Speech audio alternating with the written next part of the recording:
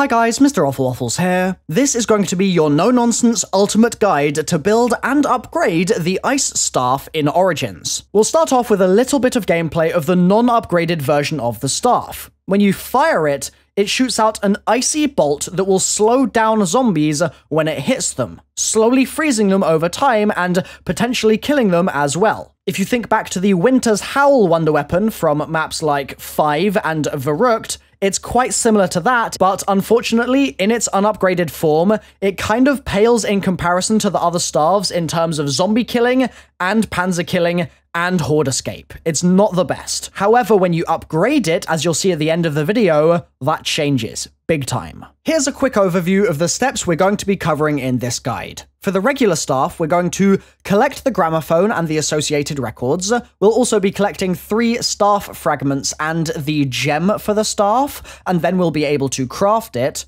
And once that's done, we can get working on the upgraded staff steps, which are to complete the ice puzzle in the crazy place, then destroy the ancient tombstones around the map, at which point we'll be able to align the 115 amplification rings and ultimately start charging the staff in order to finish the upgrade process. To get started, we need to collect several different objects, and two of them, the gramophone and black record, are actually shared across all of the staffs. The gramophone can be found in the top area of the mound to either the left or the right of this wooden table. Once you've grabbed that, come out of the mound and check the following three locations for the black record. One spawn is in a wheelbarrow on top of the mound itself. Another spawn is just around a corner from that first spawn, actually, on the wooden walkway just behind this sign. And the final spawn is actually round the back of the mound nearby the path that goes towards the church. Once you've got those two items, you'll be able to place them down on the table that you originally collected the gramophone at, and the chamber below you will open. And please remember, it's good zombies etiquette to pick your gramophone back up once you're done using it. Seeing as we're building the ice staff, we also need to pick up the blue record, which is going to be located in the tank station. There are again three spawns, one of which is on the table directly in front of you as you enter the tank station from the front. Another is on the shelf just next to the mystery box, kind of illuminated there. And the third is on another shelf just next to the stone slab desk by the exit of the tank station around the back. Now, with the gramophone, black, and blue records collected, come to the tunnel behind the church on the way to Generator 6. At the bottom, chuck the gramophone down on the table, and a portal will open up to the crazy place. Go through, and you have to do it via this portal for the ice staff, and make your way over to the newly opened ice altar. You should see that there's a glowing blue gem inside, which you need to pick up. The final three pieces we need to collect are all staff fragments, and they are all actually found the same way. You're going to need to find a shovel, which I'll show you locations for in just a moment, and start digging up the various dig sites that spawn in each round around the map. However, it has to be snowing while you do this. So if the sky is clear or it's raining, for example, you need to go another round into your game, see if the weather changes, and once you get snow, that's when you want to start digging things up, because you won't be able to get the parts otherwise. In order to dig, you obviously need shovels, and I'll show you some spawn locations for those now. And then in a moment, I'll give you a bit of a shortcut so you can find your staff fragments a little bit more easily. There are always two shovel spawns in the spawn area of the map one of which is literally in the room that you start the game in, on the right hand side. The other is up the stairs and directly across from you in the exit from the spawn on the left hand side there. There are other locations that you can check for shovels as well, but you've got to bear in mind that these other ones, i.e., the non spawn ones, change location each game. A couple of good places to check are the tunnels on the map that lead to the crazy place, and also inside the downstairs area of the church next to the buildables bench or against the pillar, those sorts of places. I'll have a full, comprehensive list in the description down below so you can check for more shovel locations if you happen to need one. Now then, the quick tip that I mentioned to speed up your search for the staff fragments is as follows. You'll notice that in your HUD there are three parts to each staff, a top, middle, and a bottom. Each of those parts is more likely to spawn in a corresponding area of the map itself, so the top part, for example, is more likely to be in the church area or around Generator 6 in one of those dig sites. Then the middle part will be somewhere above the workshop, but beneath the path towards the church part of the map. So essentially, that's the middle section of Origins. And finally, the bottom part will be somewhere from the spawn leading up to the workshop. So if you're having some trouble finding that last staff fragment during a snow round, look at which fragment it is, figure out the corresponding map area, and then start digging there because you're more likely to find it that way. I've got to quickly say thank you to my buddy Lex for telling me about this strategy. Once you've found the items I previously mentioned in this video, and you've now dug up those three fragments, you're ready to craft your staff. So go down to the very bottom of the mound and you'll see four pedestals, each of which correspond to one of the elemental staves. Go over to the blue one and get crafting. Remember, by the way, that you're not going to be able to pick up two elemental staves at once. Congratulations, you got your staff. Now, let's get to work upgrading it.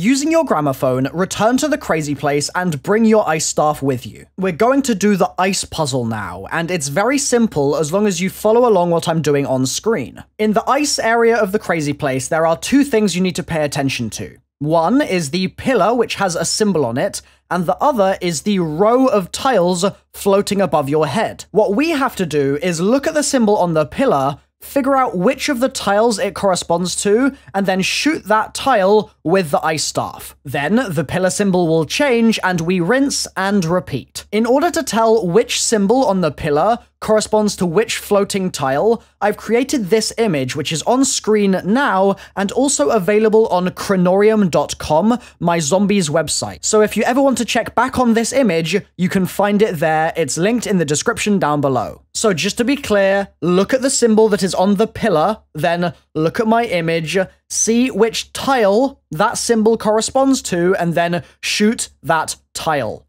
Then look back at the pillar and do the same again until all of the tiles have been turned over. If you mess up, it's going to reset all of the tiles, so take your time with this and you should be okay. Once that's finished up, you're going to need to return from the crazy place with your staff and find three tombstones. Each of them needs to be frozen with your staff and then shot with a bullet-based weapon but I would avoid using the Boomhilda. The three tombstone locations are as follows. If you come to Generator 4 and find the soul chest inside one of the robot's footprints behind Juggernog, you should see one of the tombstones on the ledge behind you. From there, if you turn towards the mound and run towards it, you'll enter one of the giant's footprints, and uh, there's a tombstone just in front of you on the wooden ledge in front of the mound. The final one is a little bit of a run away. If you go out of the back of the tank station, you should be able to see a downed robot, and its twitching hand should be right next to the final tombstone. Once you have frozen and destroyed those three tombstones, go back to the mound and head down the stairs. There are several levers in this area that you can use to rotate the 115 amplification rings. What you need to do is rotate those rings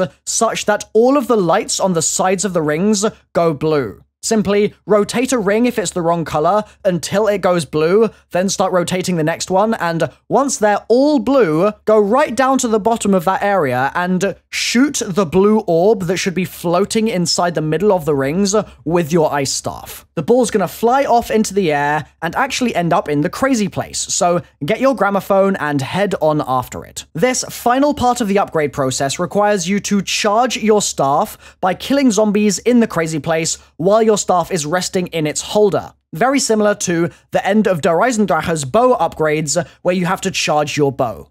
So once you're in the crazy place and you're ready to get this kicked off, put your staff into the altar where you picked your gem up earlier in your game and start killing zombies. A pro tip for this is that you can actually kill zombies in any area of the crazy place. It doesn't just have to be the middle or anything like that. The souls will still travel to your holder. So if you feel safer camping near one of the teleporters or something like that, then feel free to do so. Also, another tip for those of you that know how to upgrade the fire staff, or if you don't know, there's a guide on my channel, is that you can get the kills you need for the cauldrons in here while you're getting kills for your staff. So the souls will go into the staff, and the dead zombies will fill the cauldrons at the same time. Once you've killed enough zombies, you should see a pop up on the top left hand corner of your screen saying that the staff is complete, essentially. It'll be a white glow around the outline of the staff, and in your inventory, if you bring it up with your middle button on your controller, you should be able to see that it's done as well. You can go over to it, pick it up, assuming you don't already have a staff in your hand, and voila, you've gained access to Ull's Arrow.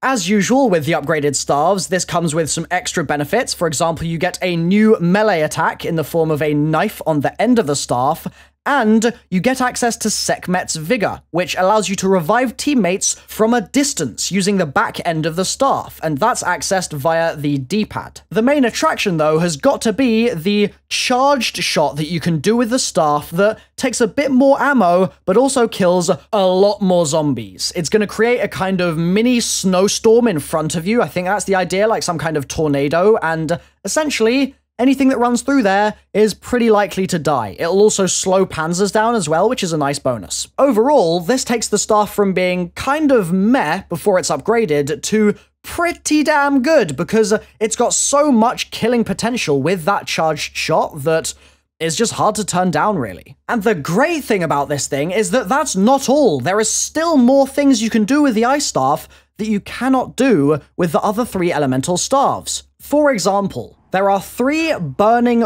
wooden carts or chariots or whatever you want to call them dotted around the mound. One is in front of the mound, just here. One is opposite the MP40, and a third can be found just around the corner towards where Stamina is. If, in a given round, you shoot those three carts and extinguish the fire using the ice staff, you'll actually guarantee yourself a free drop, a free power up on top of the mound. So extinguish all three, run up to the top of the mound, and you should have a zombie blood waiting for you. You can do this every single round as well, so this is a really useful one if you're doing the main quest Easter egg. In terms of comparison to the other staffs, I would say that the Ice Staff is uh, weaker probably before you upgrade it, just because it's not so great for getting kills and isn't very useful for the Panzers either, but once you upgrade this bad boy, that whirlwind charged shot just completely justifies all the effort you put in. The question is, do you agree? Let me know what your favorite staff is down below in a comment, and